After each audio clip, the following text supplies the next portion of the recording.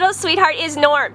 He is a six-year-old Beagle Basset, so he is full grown. He's not going to get any bigger.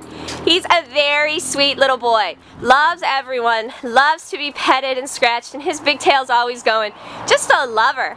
He's also very easygoing. He just kind of has a mellow, laid-back personality.